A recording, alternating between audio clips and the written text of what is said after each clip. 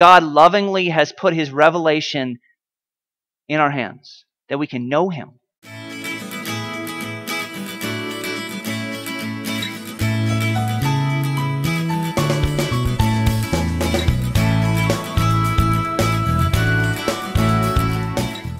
Today we're going to talk about in a two-part series about the word of God.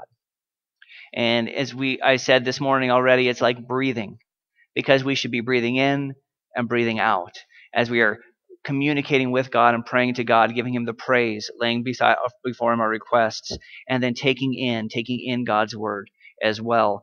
And just as we need to breathe, to be alive, if we are going to have the appearance of life as as believers, if we're going to resemble our calling, then we need to be in a relationship with God that is active and that we are engaged in. You know, God has revealed himself to his creation. And I think I think you probably noticed that.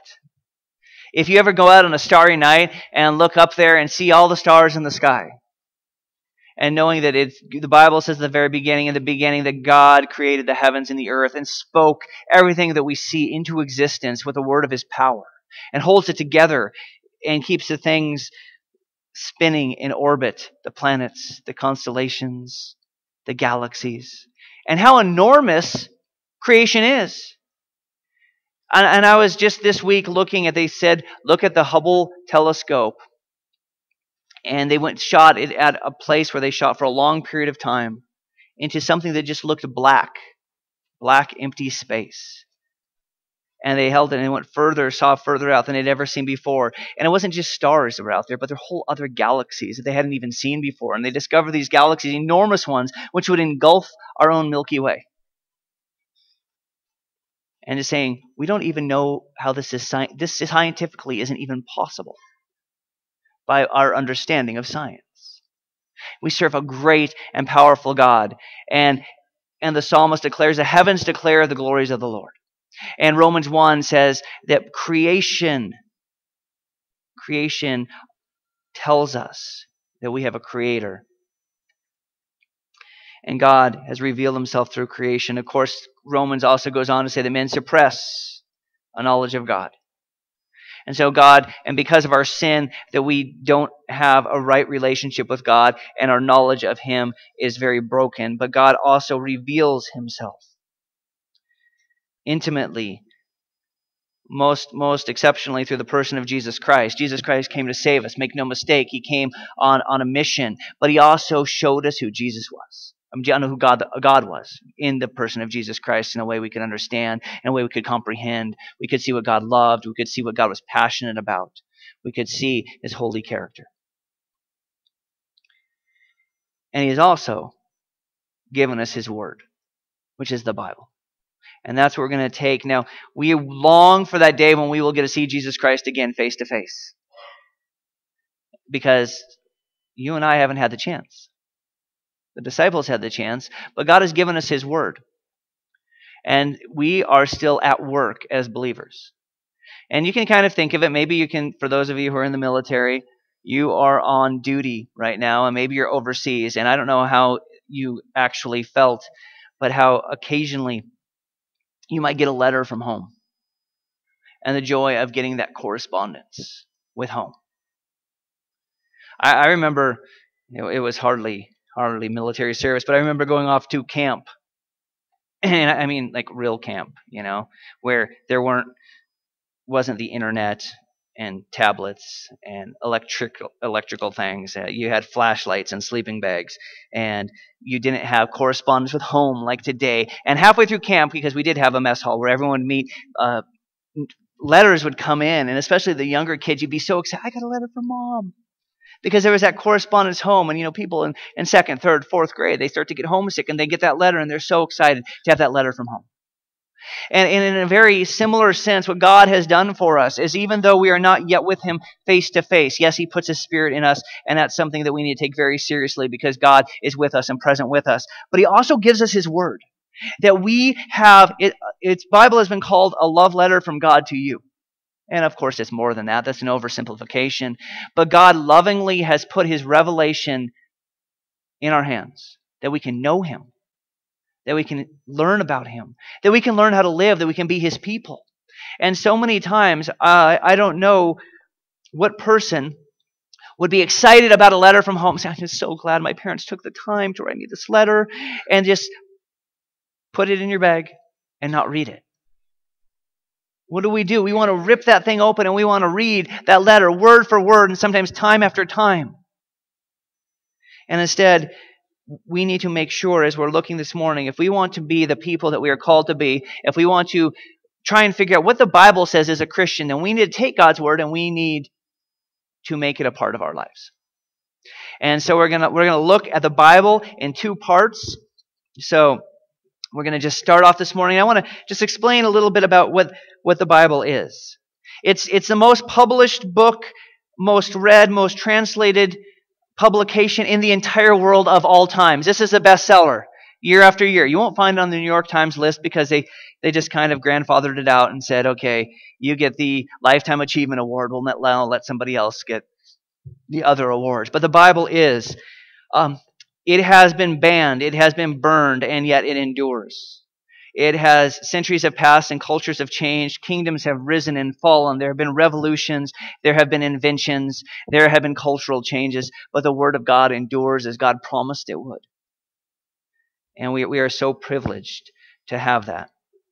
So as we, as we go to open up God's Word, let's just pray that God would continue to reveal Himself this morning and, and teach us about His Word. Lord, we thank you so much that you would love us, that you would reach out to us, that you would rescue a rebellious and sinful people through your Son. And that you wouldn't only save us from our sins, but you would save us for a relationship. And you would share with us who you are in your word. I pray that as we study it this morning, that you would give us a greater appreciation and hunger for your word. Please guide my own words and that they would be spoken in a way that is clear and, and reflects you appropriately. And please open all of our hearts to receive that which you have to give us this morning. In Jesus' name. Amen. So as we look at the Bible, second here, looking around for my clicking device. Otherwise I have to all right. I don't think I have it. So let's go to the next slide. Um, when we're introduction to the Bible, what we want to look at here is a little bit of understanding of the Bible. Because if you walked in this morning and you said, okay, um, I want to figure out what Christianity is about, and you guys talk a lot about God and you're really excited about a book. And there was one person that I remember reading one of his biographies who came to Christ, and he said, I never could understand why Christians were so excited about the Bible. I'm like, they're really excited about that book.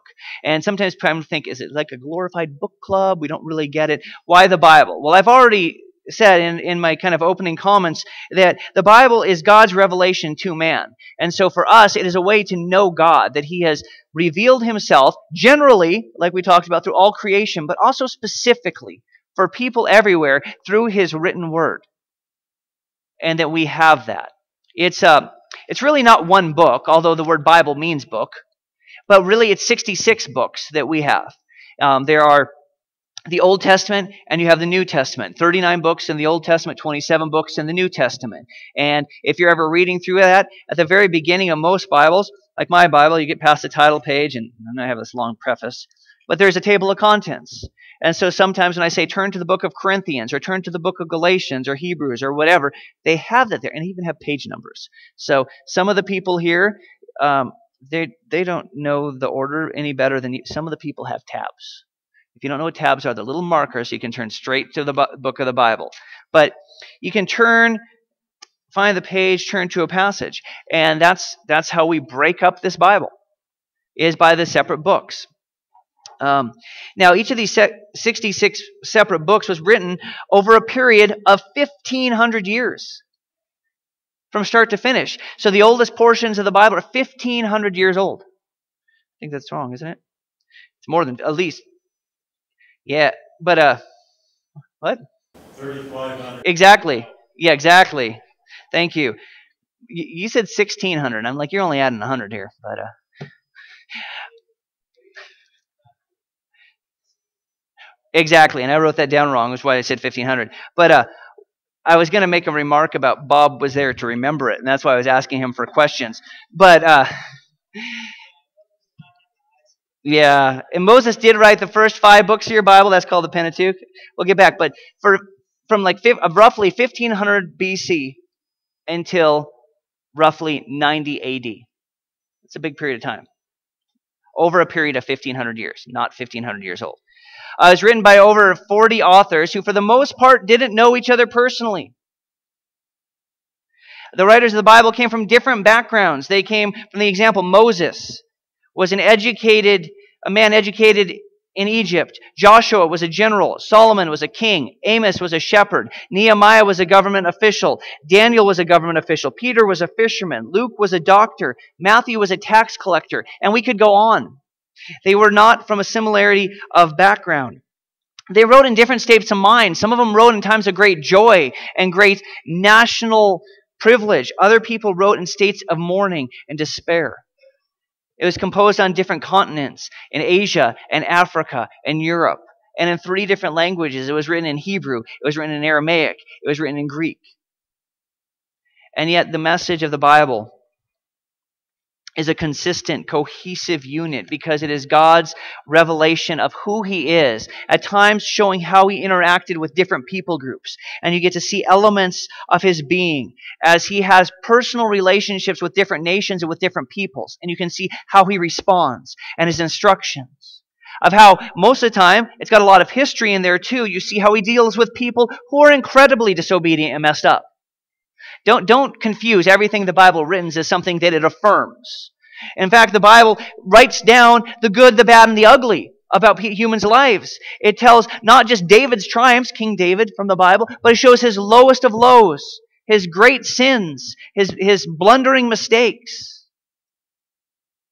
And that we see that in all the Old Testament pointing forward towards the person of Christ, showing man's need, showing God's preservation of a faithful remnant, of a people who hold true, true to his truths, and who are supposed to be a blessing to others by passing that on and pointing to that person of Jesus Christ by whom he would save the world, the entire world, those who put their trust in him.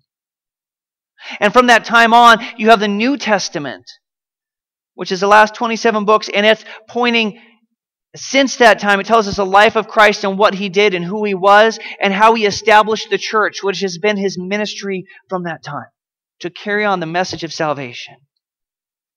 It, it, it's an amazing book. There have been many people who have sought out to disprove it.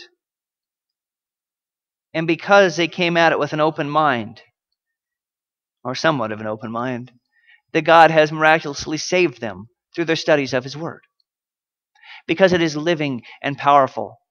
In a way, because it was inspired by the Holy Spirit. And when I say living, it's not that the words themselves move around on the page or you have to, you know, put your Bible in a Kindle at night. We all know that. But rather, the ultimate author of the Bible, the Holy Spirit, is working in the world and drawing men to a relationship. And that's why sometimes you can feel so convicted by a passage in more than an emotional sense because the author is unseen and present with you, drawing your heart. So it's it's a it's a unique unique book.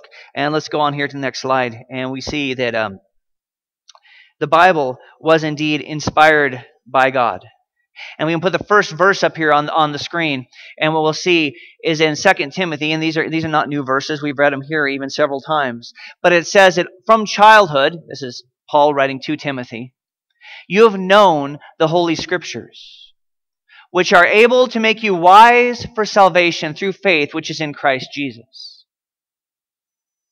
All Scripture is given by inspiration of God and is profit, profitable for doctrine, for reproof, for correction, and instruction in righteousness, that the man of God may be complete, thoroughly equipped for every good work.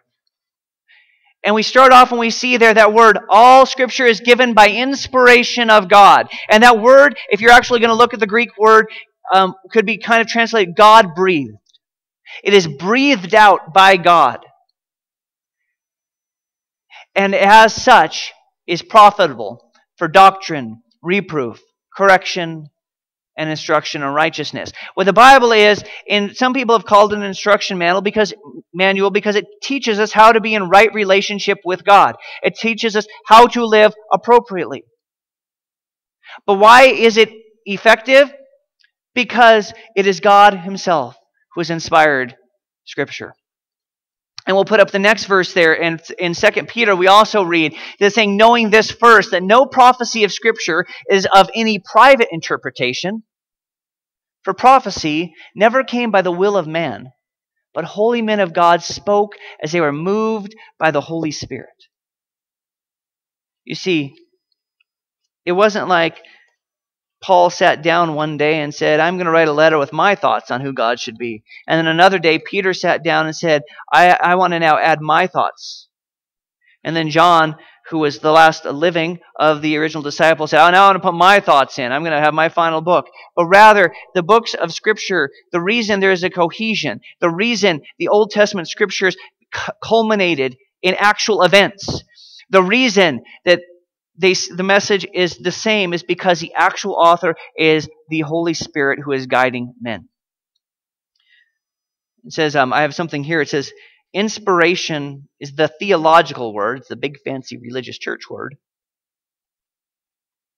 taken actually out of Latin, which used to refer to the process by which God superintended, spiro, the human authors of Scripture so that they, what they wrote was simultaneously their own words as well as the words of God Himself.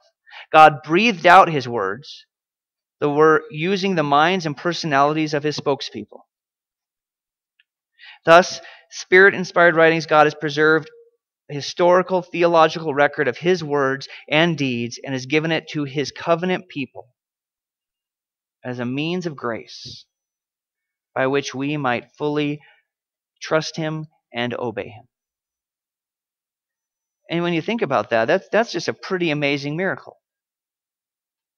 If you read First John, if you knew Greek, you'd see John doesn't have a very great vocabulary. He had like a fifth grade education when it came to the Greek language. Now that's that's understandable because his he already spoke a couple different languages. He was probably proficient in conversational Greek because he was a businessman and a, and a fisherman at one time. He obviously spoke Hebrew and he knew would have known Aramaic. So he's at least trilingual. So let's not be knocking his educational level. But you can read the level of Greek and it's not the super complicated sentences and extra high vocabulary. It'd be a nice basic reader. And when he writes, he writes clearly, but simply. Then you get to the book of Hebrews. And if you ever thought Hebrews was difficult to read in English, try reading in the Greek because that is written like at a PhD level. The person who wrote the book of Hebrews and also um, Luke, who wrote Luke and Acts, wrote at a very high level. So here is, is God, through the Holy Spirit, using the abilities and personalities of these two different people. Luke, being a doctor, and through guidance of the Holy Spirit, is writing down all this medical information. When there was a medical thing, he would write down how, what the actual thing was going on. Now, this person had this medical condition for this many years. You could tell he was very articulate. Um, and yet, when he writes with some of the other people, he, you can see their personality coming through, and yet it is still scripture. And I start to go, How do you do this stuff, God? You can take who I am, and it's still your work. I, I, I guess I guess the best example I could have in my own mind is the other day. Uh, one of my sons was wanting to swing a golf club in the backyard, and he's trying to swing. And I said, okay, hold still for a minute. So you go behind him, grabbing his hands, and we're just practice, feel how that is. Know, pulling it back and see see how your hips and and kind of guiding him through. He's moving, but there was a parental element to try and guide his swings. Well, much more perfectly, how God used the personalities and even limitations in some case to perfectly write who he was. It's a it's a it's a unique book. It's a it's an amazing book, inspired by God. Now we use uh, a couple terms here, and how I'm going to use them. Sometimes you may hear some. I'm going to throw out a lot of big terms. There's some people say the Bible is verbal plenary inspired. Like, what does that mean? Well, you don't really have to know. What I'm going to tell you that means every word is inspired, every individual word. In fact, Jesus Christ said, "Not a jot or tittle will vanish." Every little least stroke of the pen was inspired by God. The, the writers did not make mistakes. But also the whole message was inspired. So the individual mes- words were inspired, the big message was inspired. God had the details, and he had the general meaning, all inspired by God. Um, we want to say that that is, of course, in the original autographs. Have people made mistakes with their Bible in the transmission of it? Like if I make a copy of a verse, I can tell you for sure because I have written it on the whiteboard before for my classes and I have written down incorrectly. Because me writing down John 3:16, the most known of all verses in the Bible, at least in our culture, when I write that down, sometimes I can write it wrong. I can misspell something. I could transmit that from the paper up there or from my memory up there incorrectly. So that doesn't mean that any time anyone writes down a Bible verse, be there an individual pastor or be there a publisher, they have gotten it absolutely right. And in fact, as I've used in an example before, there was the Wicked Bible, which just happened to leave out one of the nots in the Ten Commandments, and it made adultery um, encouraged. Not exactly, and you can see why it's called the Wicked Bible. They rounded them all up and they burned them all. And the publishers were fined a year's salary. By the way, if you have one of those today, it is the most expensive Bible you can possibly own due to its uh, but let me just let me just clear you out. If you have one of those six copies, it may be left. That is not inspired. You cannot set aside the commandment because a publisher just said, I'm just striking that word, right? No, as a matter of fact, what we would say is this error is an error in translation or in transmission, but the original autographs, that's what we call them, were fully inspired by God. I'm also going to tell you that we are we serve a gracious God who has preserved his message. And this was, this was made evident. So while there have been instances where a translator may have misprinted a page, when we go back, it's not like the telephone game. Game. You remember that telephone game where you to, you start a story, you can start on one end and say, "Tell a sentence," and you whisper to the next person. They whisper to the next person. You get to the end, and it's just not the same. But when they have compared the version of the Bible that we have today, that God in His sovereignty has preserved and protected his, his works. And what, case in point being the scroll of Isaiah, the great Isaiah scroll found in the Holy Land. This is a work that predates Jesus Christ. They pulled it out of the earth and they compared it to Isaiah, and you know what they found? It's the same. There's a minor, minor spelling variance of places and a couple equivalents of a couple punctuation marks that got rearranged. They have this enormous book of the Bible preserved. And you go, how is that? How can that be? Well, one, of course, the people who, who have copied the Bibles are very diligent because they knew they were dealing with holy things. But secondly, you can see that God, while He works for frail human beings, wants His message to continue. And we thank Him for that.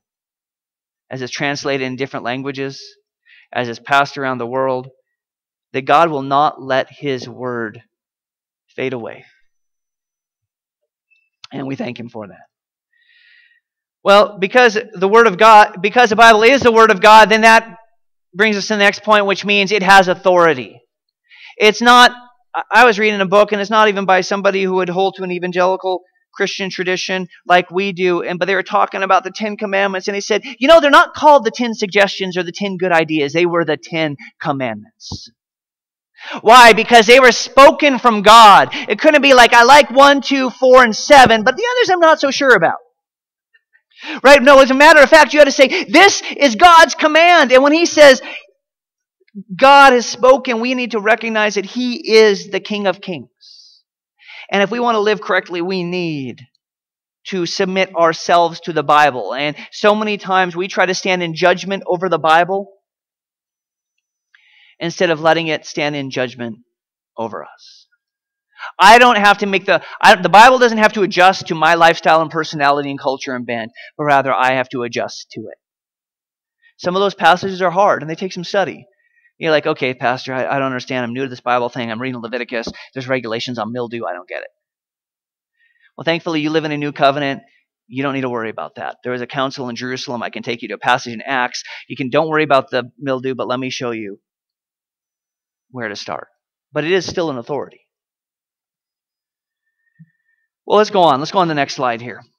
That's some more of the uniqueness of the Bible. We've already talked about that God has preserved his work, and we say the Bible is inerrant. And we were just talking about that being in the original autographs.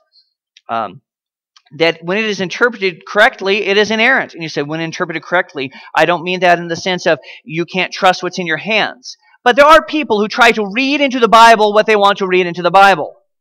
And for example, this is not an appropriate reading of the Bible. I'm going to just pick out words at random and say this is God's word, right? That's not how you do it. So Judas went out and hanged himself. Well, that, that's not very encouraging. Let's go to another passage. Go and do likewise. You know, you're like, okay, one last try. Let's try it again. Whatsoever you do, do quickly. Right? I mean, that is not that is not a correct interpretation of the Bible. Uh, can we understand that? And you can't say every promise in the book is for me. Okay? And, and this is what I'm saying. You can trust here, but not every promise is for me. Some, some of the promises were for specifically for pe- certain people and certain people groups. I don't read that you will give birth to a child and you will call his name Emmanuel. That is not a promise for me. It is a promise that affects me. But I have to read in context too. And there's poetry, there are books of prophecy, there are books of command, and there are books and there are portions of history where God records things that we are not called to do. And in fact, like I said before, it records atrocities that people committed on people who should have been people of God and people who weren't people of God, and we are in no way supposed to emulate them. Um, but understand, is God recording this or is He instructing us? And that's what I mean by interpret correctly. We can believe the record, but you're saying, is this a command? Is this a warning? Is it a caution? Is it a prayer? Is it a prophecy? And it's not like some hidden secret thing. You just read it like you would read regular literature and take it accordingly because God has graciously accommodated himself to us and written in a manner that we can understand by common linguistic practices.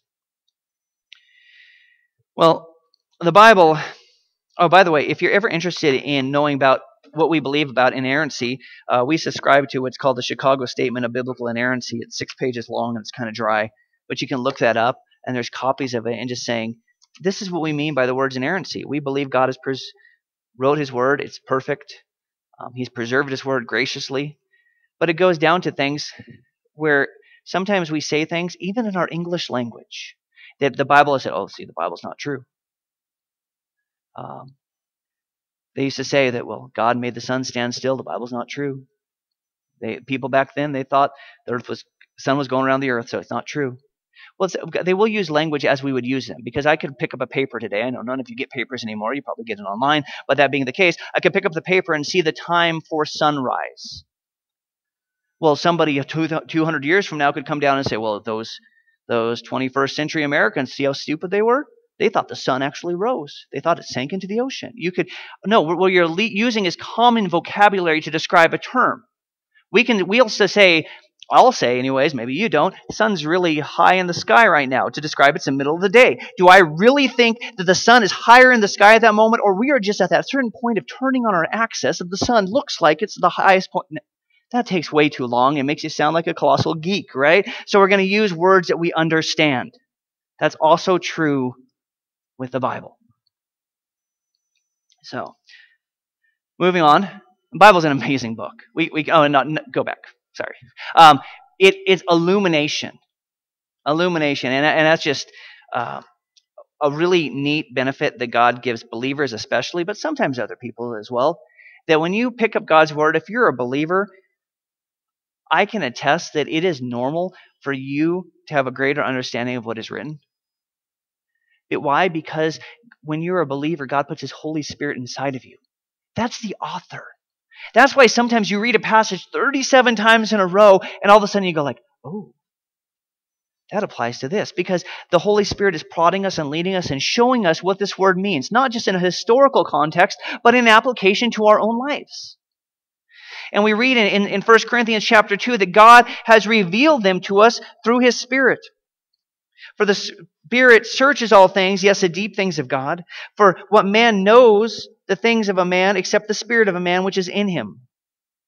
And so no one knows the things of God except the Spirit of God.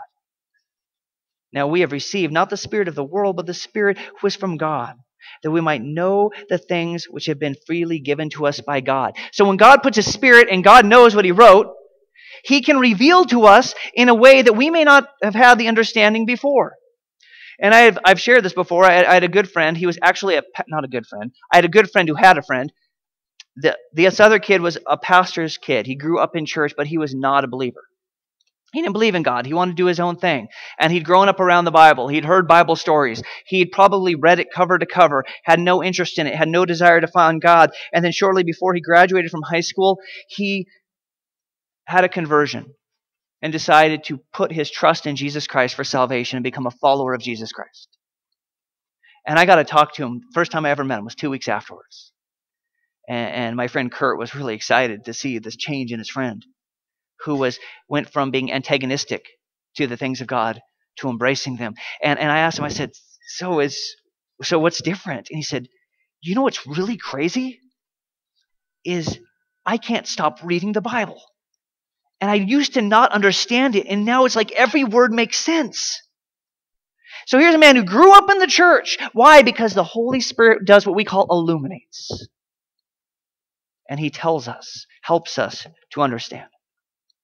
It also has animation. You're like, what's animation? Um, animation is it has power, and we read in Hebrews 4:12 that the Word of God is living and powerful and sharper than any two-edged sword, piercing even to the division of soul and spirit and joints and marrow. It's a discerner of the thoughts and the intents of the heart. That God, it has a power to give change.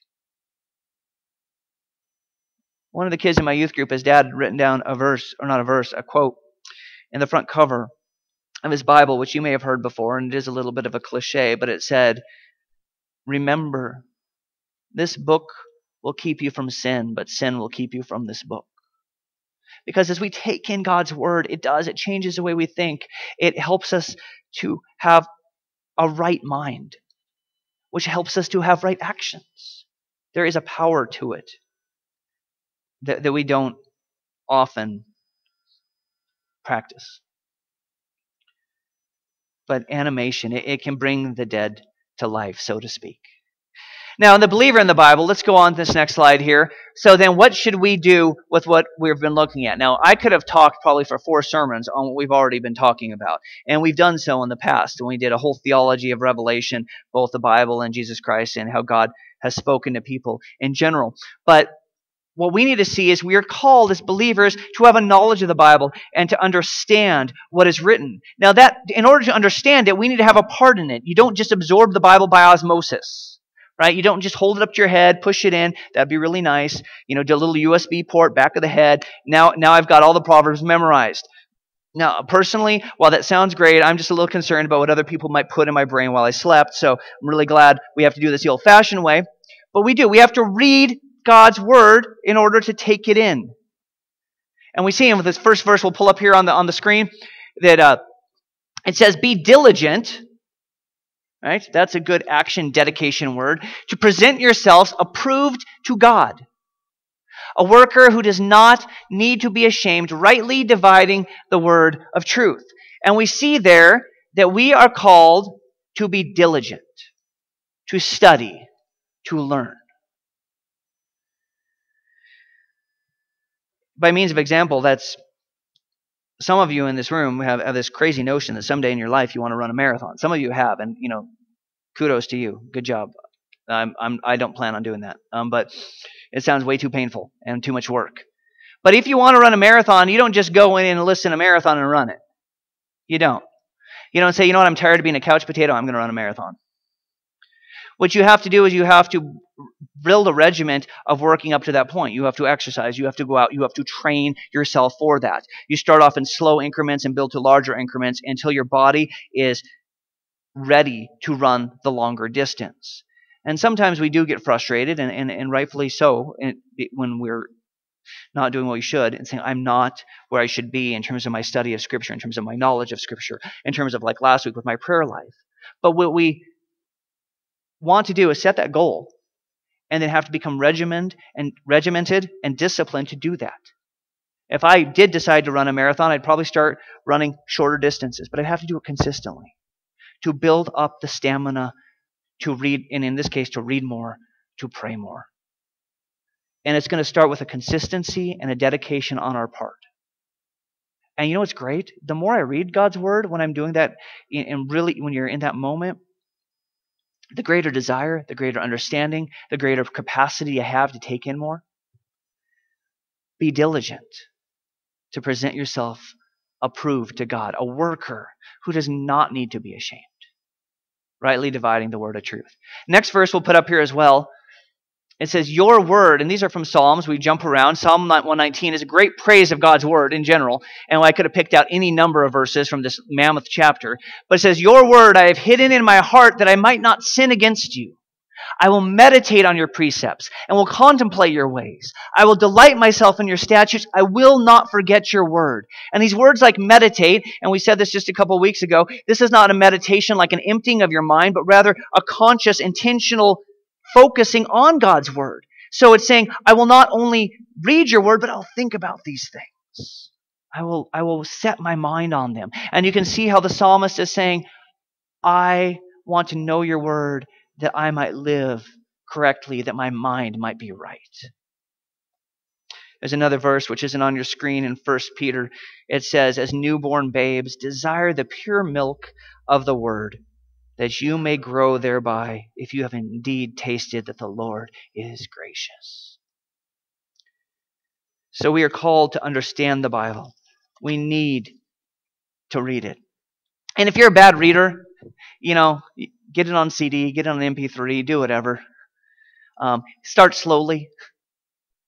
There's there's other we have a great lot amount of options that we really are without excuse for a reason to take in God's word. Well, there's also we can see a call to application. So we'll go to the next slide here and pull up a verse. Um, that we're not just to take in God's word and some of these verses we just read, but we're supposed to put it into practice. And in James, we read, Be doers of the word and not hearers only, deceiving yourself. What good is it to be given the instructions if you're not going to follow them?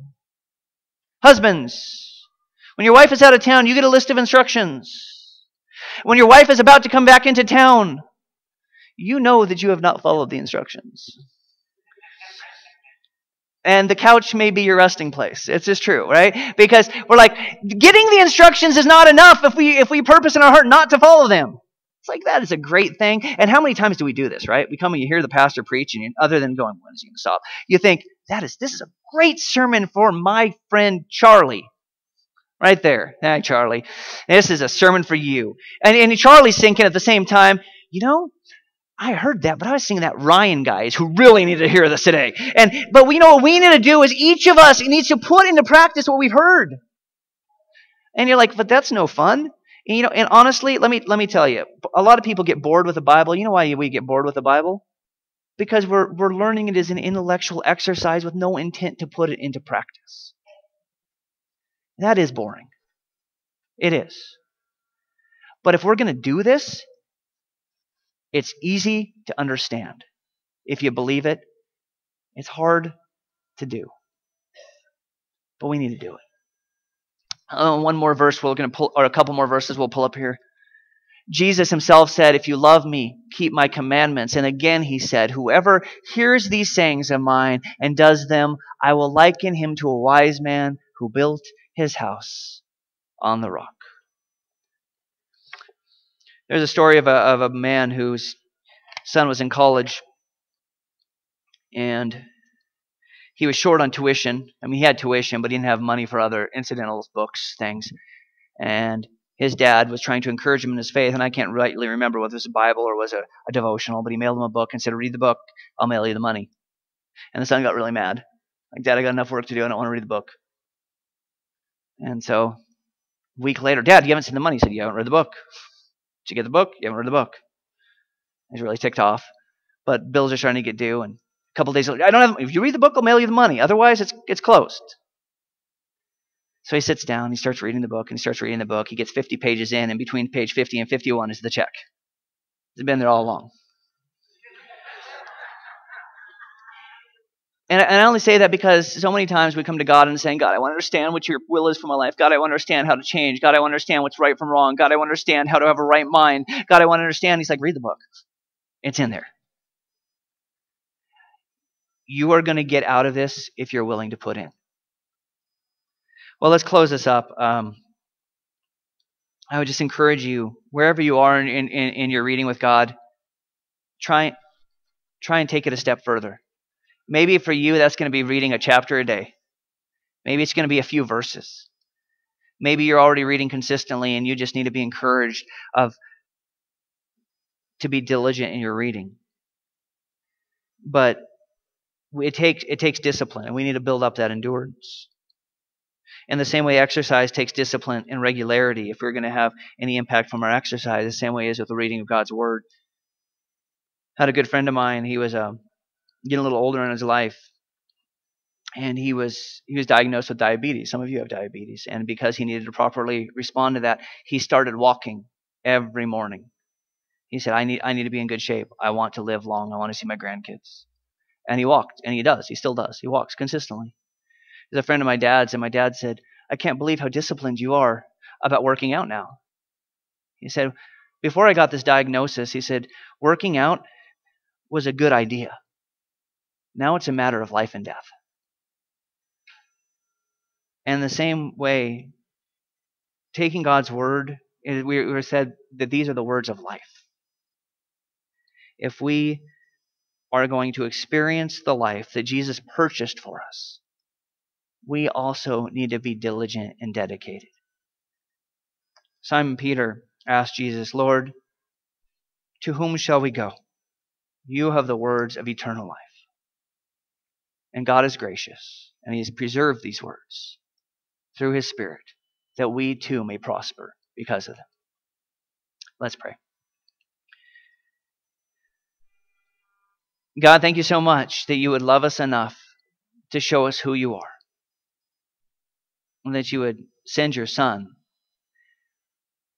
and then preserve your words of life and hope in the Holy Bible. God, may we not treat it as a, a common thing, but may we purpose to be dedicated and to learn it and allow it to change us. That we may be your people, not just in name and in, in truth, but also in practice. And we say this in Jesus' name. Amen.